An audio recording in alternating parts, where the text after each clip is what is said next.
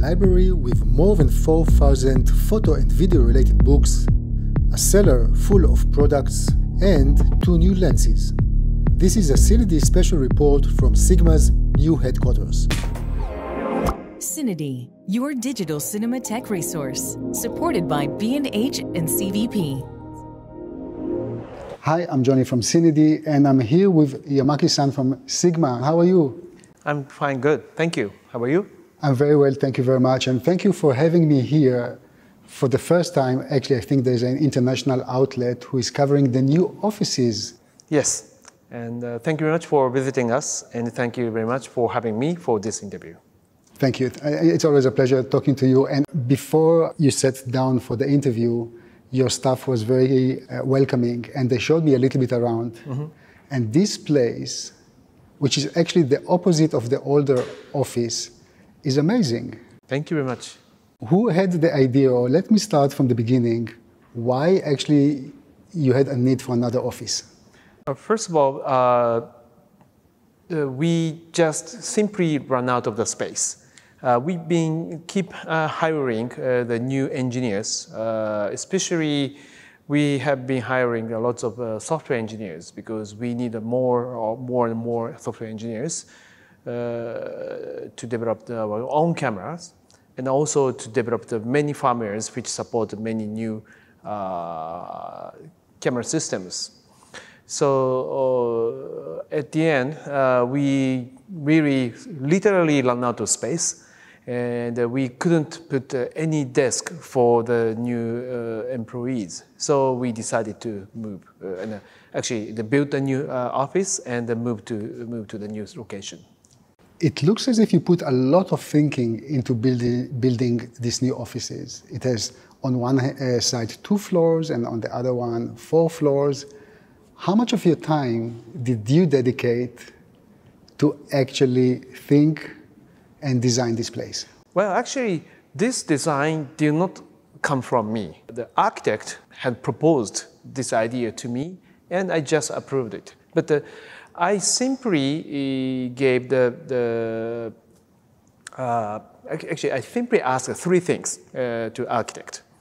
The first thing is uh, I like to make the new office very comfortable for everyone, where all the employee wants to come to their office every morning you know, with, with joy. Uh, the, I don't want anybody who reluctant to come to the office and uh, work in a very you know, uh, bad mood. I really want uh, the older employee work with full motivation. So this is number one. Very comfortable, nice place. Second is the, the space, the, the space where the older employee can see the uh, greens outside or sunshine or even feel the, the seasons because most of the uh, employees, are, engineers are very young. So they may live alone uh, in a small apartment. So, and they leave uh, their uh, apartment very early morning. So maybe in, in the winter, they just keep shutting the, the curtain or blind and don't see the, the sunshine and work until evening. So if, the, if she or she can't see the sun or green outside, they cannot feel the season. So I really want to make the new office the place where everybody can feel the, the change of the season or change of the, uh, the greens, things like that. The third thing, third point is the, the place where the communication between employees uh, are more activated. Uh, we, in order to do the, the excellent work, I think the close and the frequent communication is the key. So I really uh, uh, wanted to achieve it and ask our architects to design the space so that we can communicate more frequently and uh, more in deeper level. And do you finally have an office of your own?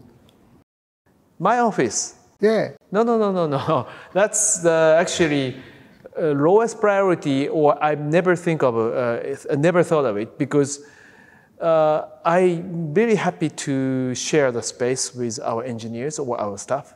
First of all, that's my uh, pleasure. I really want to work with our staff or engineers. Second, I really need to be educated or learn. I really need to learn from our engineers. Otherwise, I can't, you know, uh, can't come up with the new ideas. I, I really need to learn from our staff. So I don't have this office near my own office here. Uh, I, I have the desk in, in the, on the same floor as our engineer work. How about food? Your employees, do, do they have to worry about food or quality of food? How do you manage with this? Because at the end, it's quite a lot of people here. Yes, I think uh, the, the quality of food is very important. As I said, the, many of our engineers are young, so some employee may not be good at cooking by himself. So they may purchase the, the, cooked food or maybe bento box at convenience store, which is not good for the health. Of course, it's very delicious, so it's good to have that kind of stuff sometime, but uh, not for every day.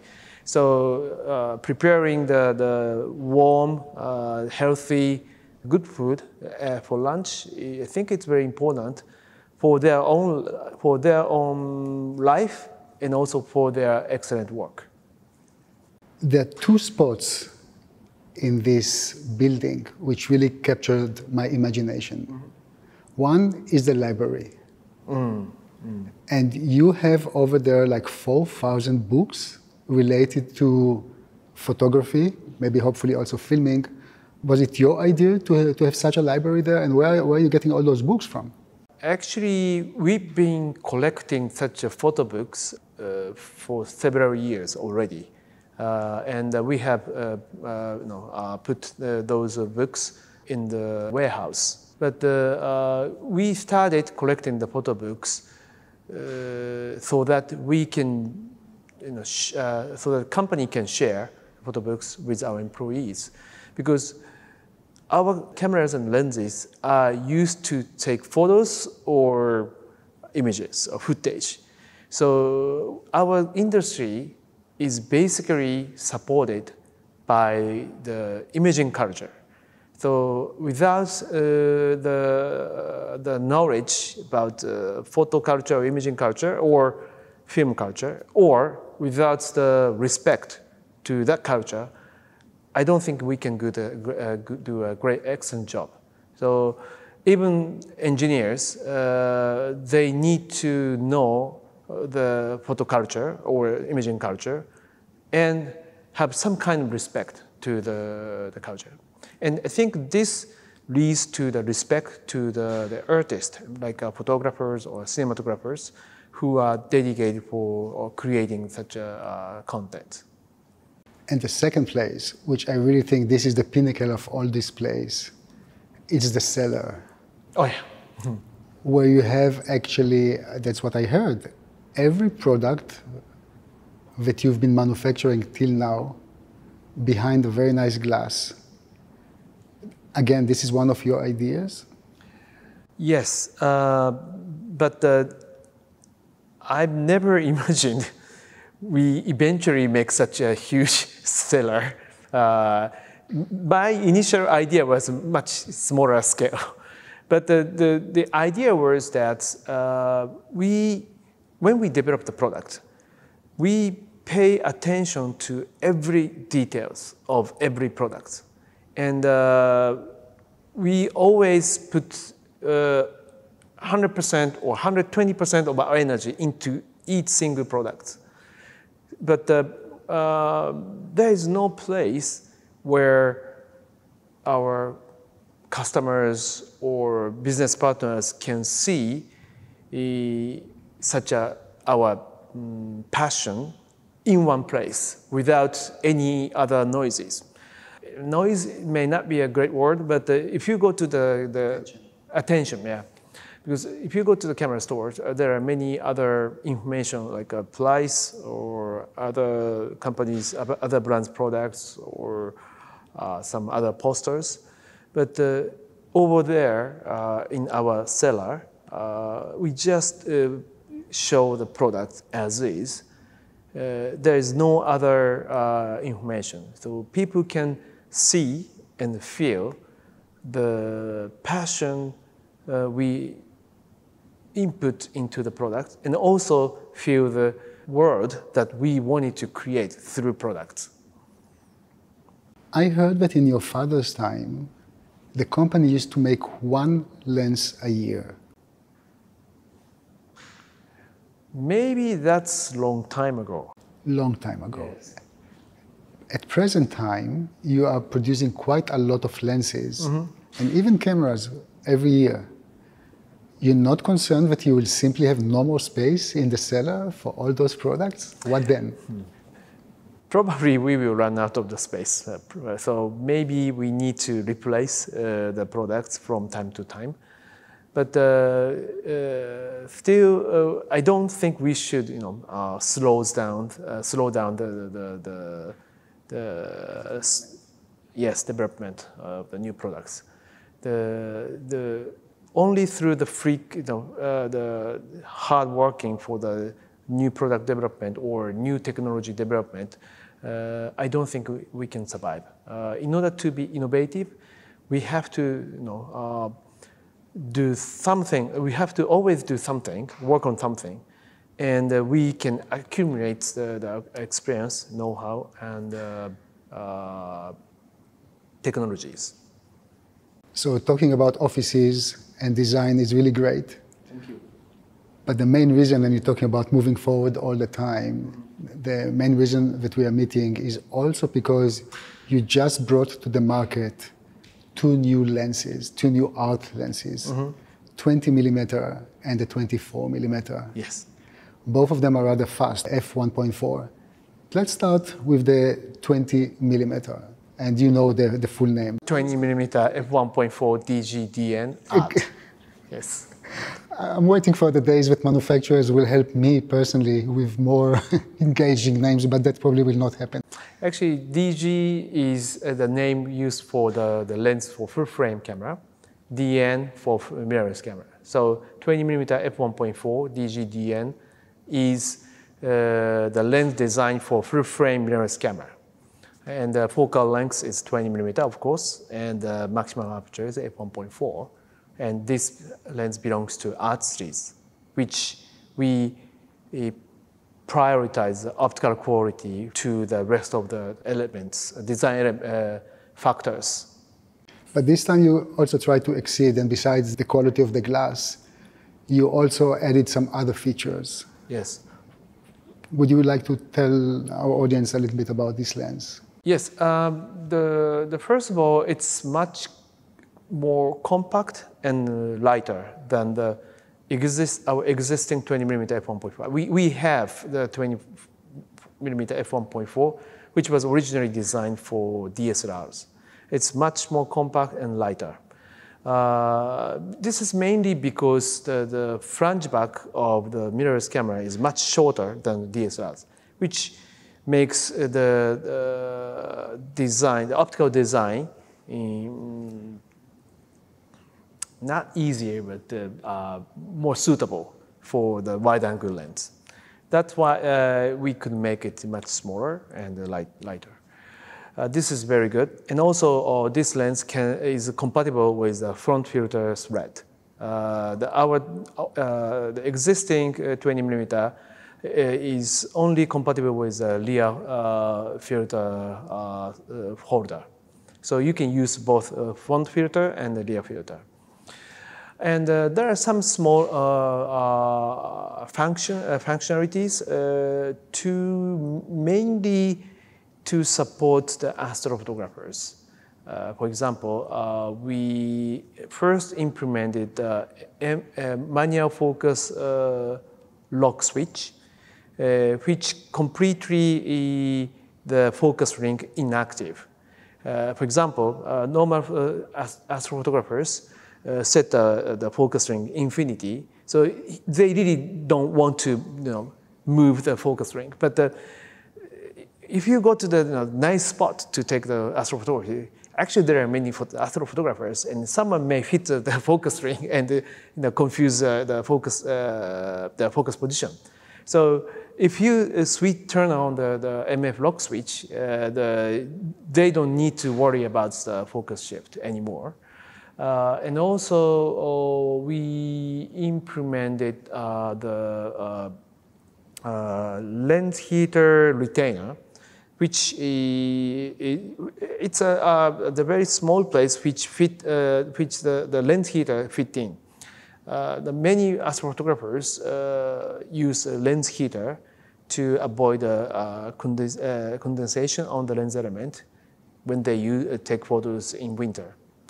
so Uh, we, the, with this uh, the retainer, uh, they don't need to worry about the, the accidental you know, position change of the lens retainer. This lens comes in which mount?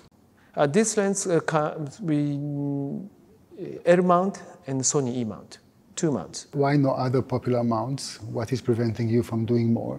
Well, um, first of all, it's uh, for full frame uh, mirrorless camera. And uh, so right now we only support the full frame. Uh, uh, we only support the Sony E mount and L mount for full frame mirrorless cameras. So we prepare the two mounts. Uh, but for the new mount, we, I'm aware of the, the people's demand, but we are not yet ready for that. Was this lens also designed with Sony cameras in mind? Because those are obviously rather popular and you have the E-mount. Any other features that are solely designed to work with Sony cameras in this lens? Yes, uh, there's a function called the F assist function, uh, which is implemented in the latest uh, Sony cameras such as FX6 and A, uh, A74. Uh, this function allows the users uh, during the, the movie focus, movie AF mode, allows the focus manually on the different subject. And even if they you know, release the, the hand from the focus ring, the camera stay on the stay uh, focus on the uh, selected subject. And uh, this new lens, new 20 millimeter, support this function. Anything else about the lens? Of course, you can declick the aperture and so on. Those yes. are things that uh, have been done before. This lens has the aperture ring first, and then uh, you have the, the declick mode, which is very important for the movie shooting. And this is a basic function which we implement in DGDN art lenses. And also, uh, this lens has uh, uh, the weather-resistant uh, uh, sealing.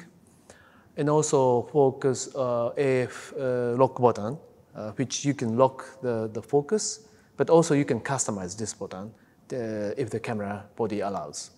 Great. And the second lens is the 24 millimeter. Yes. Specifications are rather the same, 1.4 and same series. Anything specific in this lens which you would like to indicate?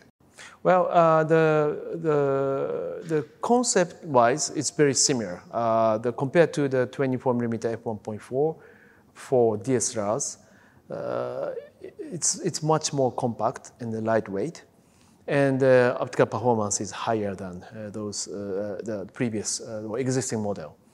And this lens also has the, the, the same function functionalities as the new 20 mm f1.4 has, such as uh, aperture ring with declick uh, switch or AF lock button or MF lock button. Uh, except for uh, the, the, uh, the, lens heat retainer. Uh, this lens does not have that uh, function, but the uh, basic functionality is very similar. Those two lenses are actually part of our wider family of prime lenses. So which one do you have now in, in this family? we have 35mm f1.4 DGDN, and also 85mm f1.4 DGDN. So uh, with these two new lenses, we have now the four uh, f1.4 or prime uh, DGDN lenses. And also we have 35mm f1.2 DGDN. So many products. I really hope that you have somewhere, maybe even at home, a big chart with all the lenses all the apertures, generation one, generation two, and whatever is about to come because it's a lot. sounds nice idea.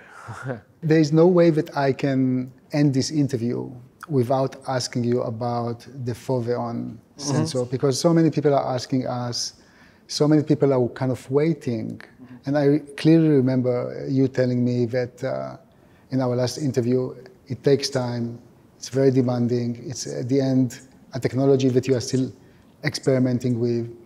And when it will be ready, it's probably going to be mostly for photographers and not for video. But I'd be very thankful if you can update our audience. Where are we now with the Foveon sensor? Yes. Uh, the, as you said, it's quite you know, uh, challenging uh, to develop the, new sensor from the scratch, but we are still working on it. Uh, there are mainly three stages to develop the, the new sensor. And we are now in the second stage. At first stage, we tested the, the basic uh, pixel architecture, and we proved it, uh, that it works. And then second stage, we make the first uh, prototype sensor. Uh, and if we find it works fine, we will make the final prototype, which has the complete uh, image sensor, including the peripheral uh, the circuitry. So uh, this, uh, the, the prototype uh, should be available sometime soon, and we will start evaluating it. But to be honest, you know, uh, this uh, confusion due to the COVID-19 uh, delayed this process. the, all our partners, our partner to make the, the prototype sensor have been so busy so it's very difficult for them to find the time to make the prototype sensor for us. But uh, we are making the uh, progress, uh, although it's not as fast as we uh, planned, but uh, we are still working on it. Talking about progress and, and the current situation, another thing that you, you told me last time was about shortage of certain chips for your lenses. Where are we with this? Is it a bit better now so you can deliver lenses to the market, or this is also slowing down with uh, design and, of course, delivery? Uh, the, basically, the, the supply shortage problem still exists. So we, still, we are still facing the similar problem.